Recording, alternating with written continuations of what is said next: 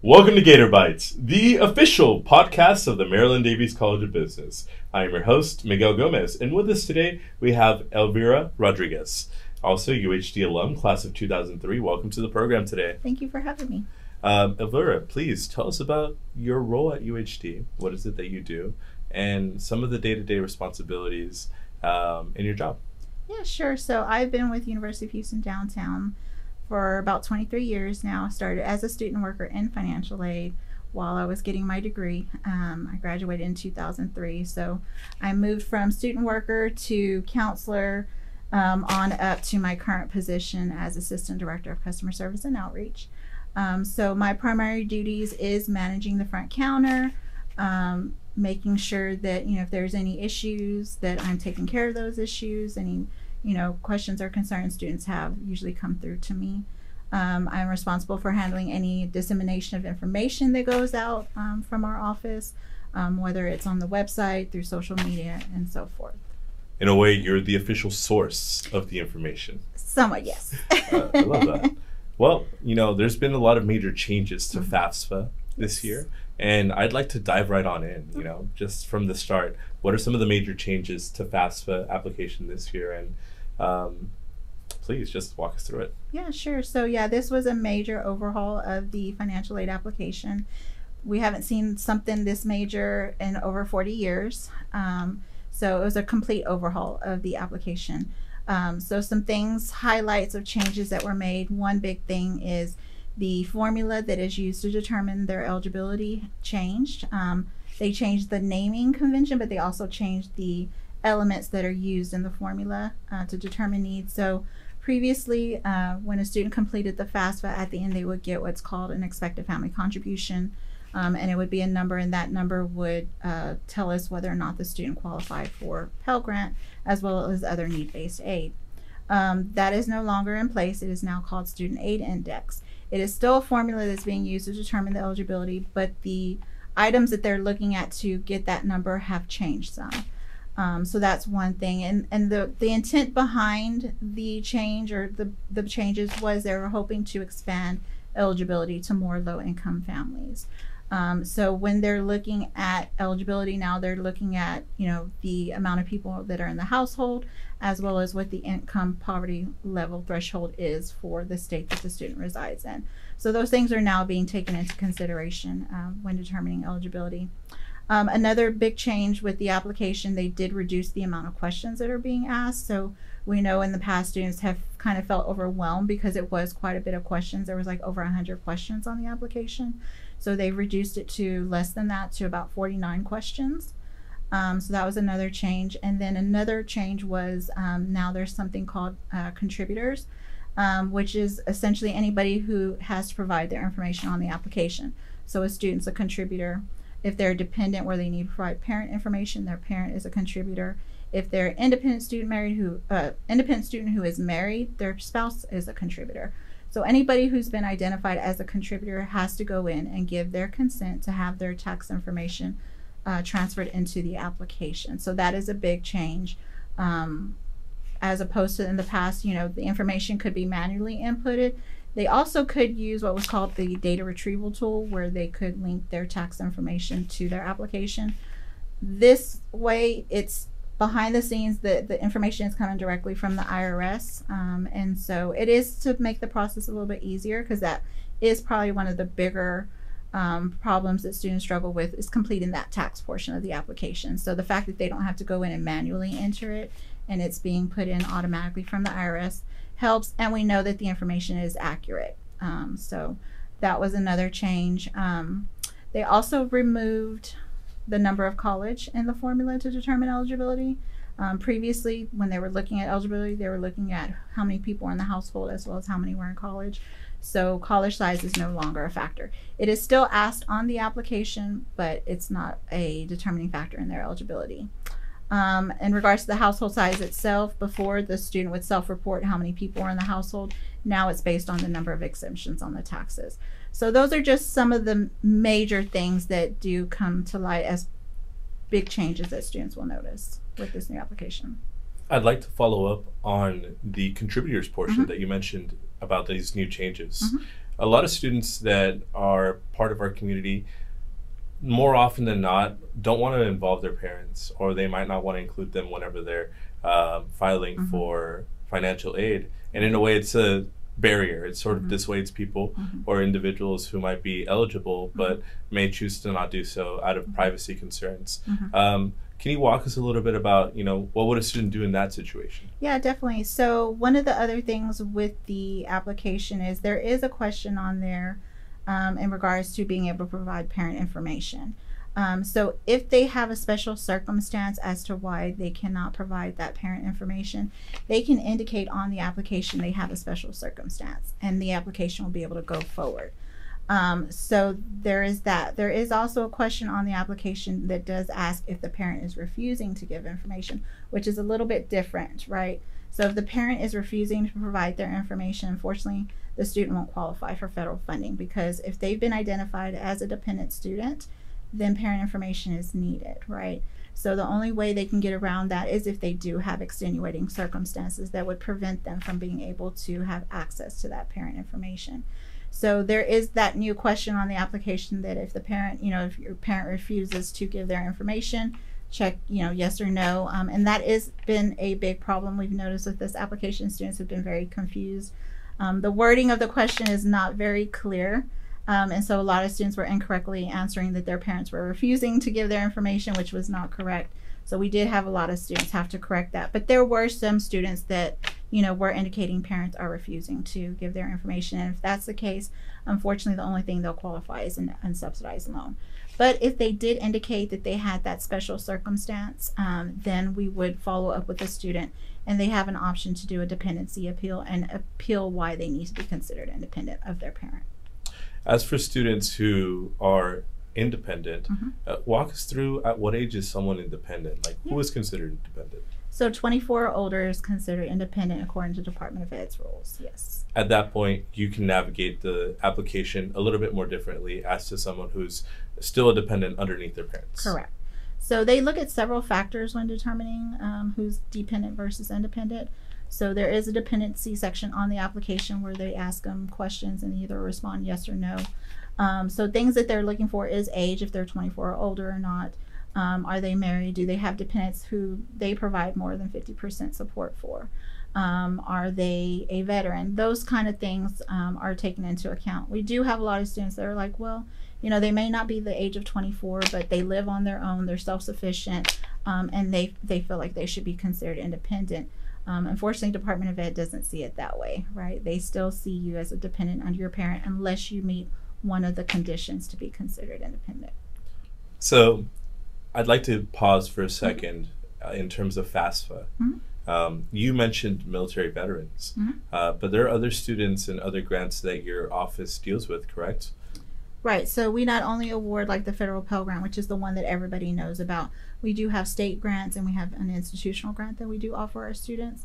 Um, when it comes to the state grant, we have the Texas uh, grant, which is there's two ways students can qualify for that grant. One is if you're an incoming freshman out of high school and you met certain criteria when you graduated from high school, meaning they took certain courses while they were um, in high school, they potentially could receive Texas grant.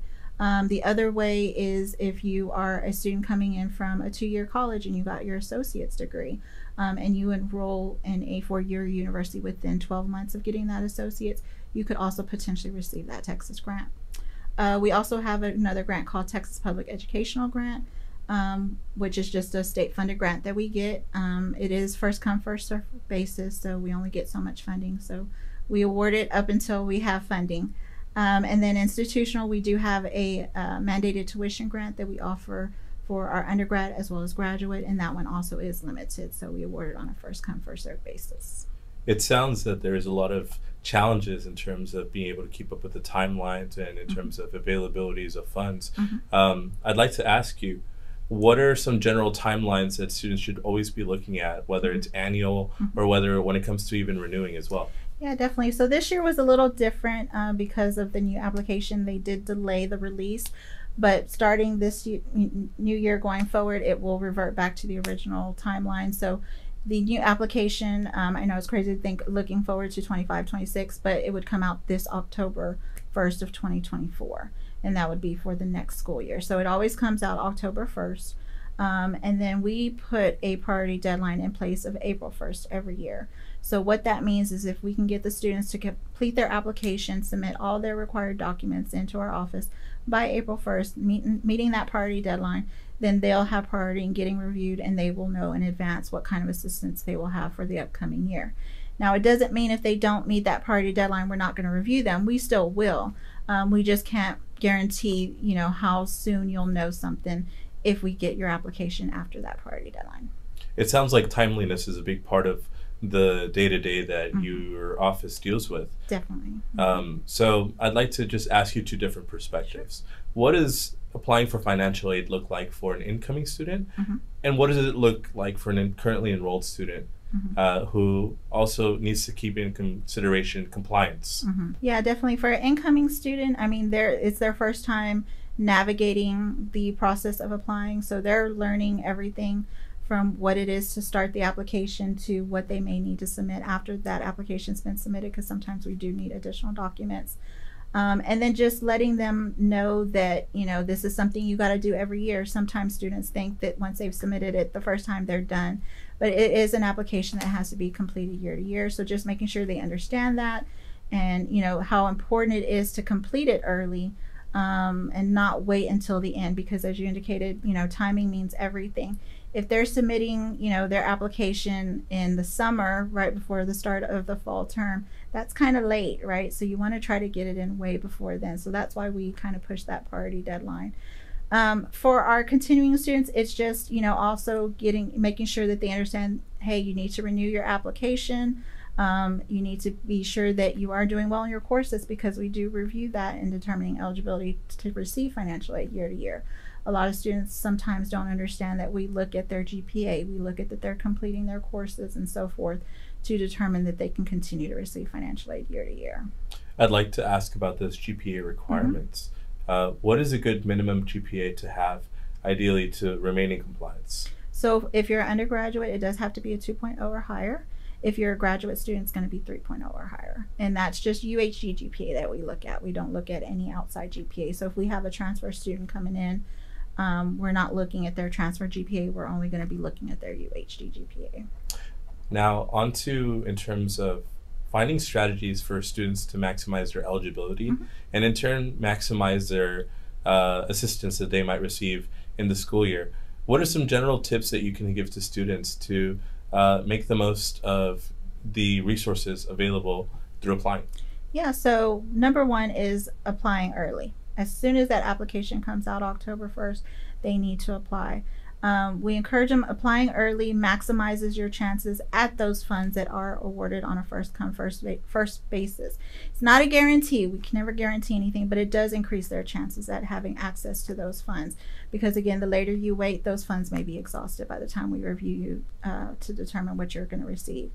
Um, other things that they can um, look into is our scholarships, right? The university has a wide range of scholarships available to students, whether they're incoming freshmen, a continuing, or a transfer student. So we did recently launch our scholarship portal um, or scholarship center, so students can go online and they can actually complete a one application and apply for a range of scholarships from the institution. And not only that, once they do submit that application, it will give them a list of additional scholarships that they may meet the criteria for that they can apply for. So um, that is definitely another resource that students want to make sure they utilize. I think it's really important that you brought up the one page portal Mhm. because one of the preconditions that we found in the College of Business is that you have to apply for financial aid, Mhm. uh, either FAFSA or TASFA, to demonstrate the need and to be able to qualify for these scholarships. Mhm. Uh, can you walk us through that process and like how does it sort of go hand in hand? Yeah, a lot of scholarships are looking at financial need, and so they will want to have the student have a FAFSA on file. Um, so we always encourage our students to submit it. Um, not, and we always tell them don't be discouraged from submitting it, even if you don't think you're going to qualify for maybe financial aid, but you may still qualify for that scholarship that you're applying for. Um, and then let them know that necessar- not all scholarships necessarily need financial need information, um, but to still apply for as many scholarships that they possibly can. There's no limits to the amount that they can apply for. Wow. Now, I'd like to ask you about first generation college students. Mm-hmm. Um, sometimes we, as first generation college students, might not have someone who has had that experience of going to Mhm. college, so they don't understand the nuts and bolts of Mhm. what it takes to be able to finance your education. Mhm. Um, what does your office outreach look like in terms of working with first generation students Mhm. and finding ways to be able to uh, get them to apply? Yeah, so we do various um, outreach efforts throughout the year from obviously recruiting uh, students from the high school level um, and letting them know what the process is to apply for financial aid, what kind of assistance is out there. And then for our students that are existing here on campus, you know, we do events. We have one big one that we do, which is the Financial Aid Fair. Every year we host it in February because that is Financial Aid Awareness Month. And so we take that as an opportunity to one, give students an opportunity to come in and do their FAFSA for the upcoming year um, but also to provide information about you know financial aid options available. And then we do have a little fun in there. We have some games and we do bring in other departments to come in and highlight their services. And we have food and a dj and it's kind of fun. So just throwing some fun things in there. Mhm. um, and then i also partner with outside uh, community partners to come in and do presentations. Most of the time they are virtual um, covering a wide range of topics from you know financial literacy topics. So anything from budgeting saving how to find scholarships, um, a various array of topics uh, to assist our students. I'd like to ask you specifically on Financial Aid Fair Month. Mhm. Um, what is what is what does essentially that look like whenever uh, you guys are having outreach to the high schools? Um, it's like you're starting them off at a very early stage. Yeah, so we get uh, called into a lot of sc- high school visits. We do partner um, with admissions because they're already out there recruiting. And so we will tend to tag along and we will, you know, not only speak to the seniors, but sometimes the juniors um, and even sophomores. Um, and just letting them know, hey, this is what you have to look forward to. This is what you need to start doing when you hit your junior or senior year. Um, how to prepare to start applying for financial aid and what they need to you know, start gathering like the information that they'll need to have on hand when they do start the application process.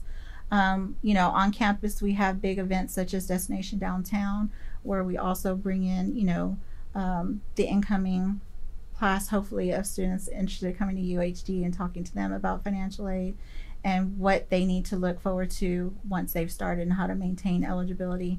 Um, there's just all kinds of events that we try to partake in to be sure that we're getting the word out about how to apply, what types of assistance is out there, um, and how we can help them navigate that process. Whenever you guys go out and do your outreach, Mhm. do you get to ride it in the branded UHD like cars? We don't. I know admissions has theirs. I'm like, man, why don't we have our own? No, we, unfortunately, we don't have a branded card, but I know the university does. I know admissions has theirs, which is pretty cool, but we don't. No. That's a subtle plug for resources.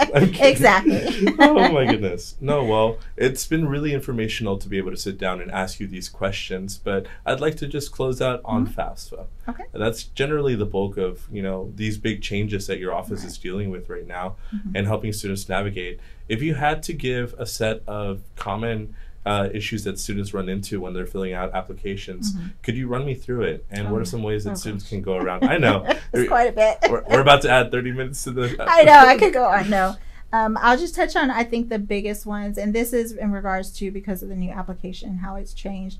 I think one of the biggest ones that we've run into is parents being able to go in and give their consent and provide their information on the application.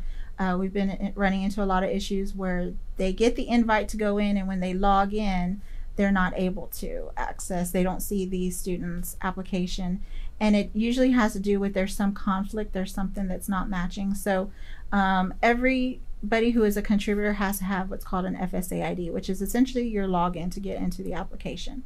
So um, the parent has to create an FSA ID, and whatever information they use to create that ID, that same information should be put on the FAFSA application. So when the student's going in and doing their application and providing parent information, they need to be sure they're exactly providing the same thing as what the parent did when creating the FSA ID because if it doesn't, it doesn't know to link that it's the same uh, person. And so it could be something as minor as, you know, on your address, if you put, you know, street, like whatever, Center Street on the account when creating the FSA ID, but you don't put it on the application, it you know, it's just something very minor as that. So we've been seeing a lot of students that their parents are not able to go in and give consent and just trying to figure out what's causing why they're not able to uh, go in and do so. Um, another thing is our students with parents with no socials. That's a big one. So previously, when a student would do a FAFSA and their parent didn't have a social, they could not create an FSA ID because in order to have an FSA ID, you had to have a social. And so what those parents would do is when they did the FAFSA, um, the student would put zeros for their social for the parent, and then the parent would have to sign a um, signature page and mail it into FAFSA because they could not electronically sign because they didn't have an FSA ID. Well, with these new changes, they made it where everybody can get an FSA ID even if you don't have a social. Um, however, they found that when the parent with no social would try to go in and give consent, it was not working to where the tax information could move over. So, unfortunately, right now, those parents with no socials do have to manually go in and put in their tax information. They're not able to do the transfer over.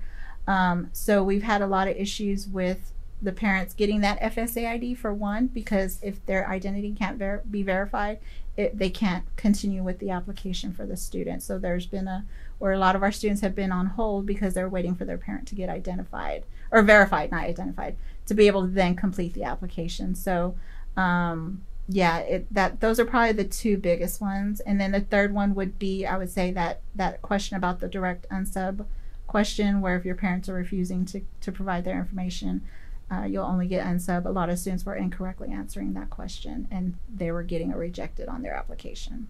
I'd like to ask a follow up on the IRS information. Mm-hmm. I think that one of the f- most frustrating parts is having to reach out to the IRS yeah. and just being on hold. Mm-hmm. It feels like an eternity. Mm-hmm. Um, just generally, what are some tips that you would give if a student has to reach out to IRS so then that way like they're prepared to be able to navigate? So it's really not even necessarily reaching out to IRS. It's it's FAFSA Department of Ed reaching out to them because if there is any kind of issue with whether it's because the parent can't access the student's application or the parent's identity hasn't been verified, um, or any a range of issues that our students have been running into when doing the application. Um, we, we can only do so much. We can help them with actually like trying to understand what the questions are asking. But when it's issues such as that, we can't do anything because it's not our, our website, right? So it really has to go through Department of Ed and uh, their group. And so because this is a world, well, not worldwide, but, you know, across the, the U.S. that everybody is navigating this new application, you know, our students are not the only ones encountering this these problems that we're seeing. It's everywhere. And yes. so um, everybody's calling in and unfortunately they're not able to get through because they're over and they, you know, there's just too many people calling in um, that unfortunately, you know, there are long wait times trying to get through, and it can be very frustrating. Um, and we completely sympathize with our students, but we tell them just keep calling. Maybe call early in the morning before you know it starts to get busy during the day. Um, but they really do have to try to contact FAFSA to get the issue resolved, and we just try to, you know, navigate them how to get to that and do as much as we can to try to help as well. Two things came to mind. One, the idea of timing. So mm-hmm. just getting in there and applying as early as possible. Mm-hmm. So then that way you have time to navigate these unexpected challenges you might face, like mm-hmm. having to contact the Department of Education mm-hmm. through FAFSA. Mm-hmm. Correct? Right. Mm-hmm. And then the other one is understanding that this is nationwide. So um, you're not necessarily alone on this right. one, but there's a lot of people who are navigating these challenges. Yes, definitely. It's it's all over, unfortunately. And like I said, just moving forward, we're hoping that, you know, Department of Ed is seeing what these challenges are and they're working on fixing those so that for come 25, 26, we won't hopefully have as many issues. it feels so far away, but it's it, right it's around really right around the corner. It's really not that far, yeah. No, well, Elvira, I'd like to just ask you one last sure. question. And this one's a little bit more off the cuff. Okay. You are an alumni mm-hmm. of UHD. Yes. And you've been here for quite some time. Mm-hmm. What does UHD mean to you? Wow. Um, I hope I don't get emotional, but you know, it's it's home for me. Um, I came here as a student, never had a job before, so started as, like I said, a student worker, and um, just it really, I think it really helped me grow. Um, I was very much an introvert coming in, very shy, and working in financial aid, you you you grow out of that real quick. Yes. you know, but it, it really has helped me in in that respect, and I've met a lot of wonderful people here. I feel like my financial aid uh, staff is my family. Uh, some people I've worked with, you know, for over 20 years. As long as I've been here, they've been here as well. So we've worked together a long time. So I just really enjoy the um, the staff that's here. We I think we work all well, um, especially in our enrollment management division. Shout out to EM. Um, I work with a really great team, and so I'm I'm a proud Gator. Love to hear that. No, well, thank you so much for coming on to the program Thank you today, for Elvira. having me. Thank you. Uh, this has been Gator Bytes, the official podcast of the Marilyn Davies College of Business. I am your host, Miguel Gomez, and we want to remind you to take a bite out of business, and we'll see you later, Gators.